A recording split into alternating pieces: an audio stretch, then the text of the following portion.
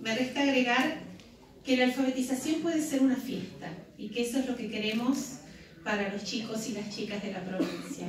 Queremos que esto se viva con alegría porque hay pocas cosas que un niño o una niña de 6 años quieran más que aprender a leer y escribir. Que entrar, a abrir esa puertita al mágico mundo de los cuentos, al mágico mundo del conocimiento, poder empezar a contar sus historias, a poder contar sus experiencias de vida y que esa puerta se tiene que abrir lo más tempranamente posible, que los chicos tienen que volver a poder aprender a leer y escribir con alegría, con entusiasmo, en primer grado.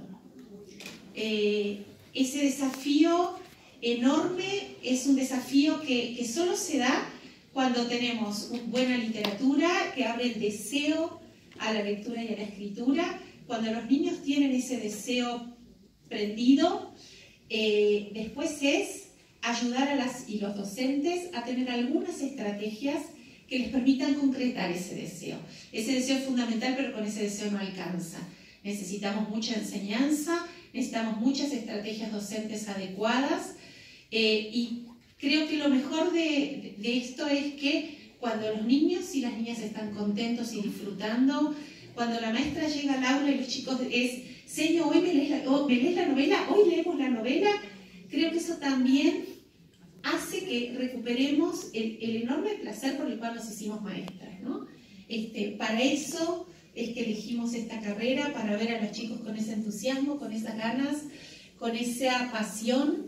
Eh, y creo que a veces, si los chicos, si uno no logra que los chicos ap aprendan, esto se puede volver frustración. La alfabetización puede ser una fiesta, puede ser una frustración. Y, puede ser un dolor para los que no aprenden.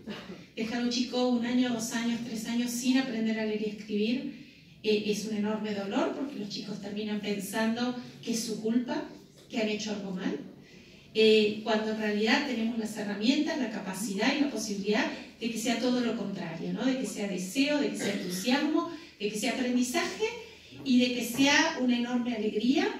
Eh, ya llegarán las fiestas de los libros a las escuelas y, y, creo que eso va a ser muy importante como un momento de, de recuperar el enorme placer por enseñar y aprender.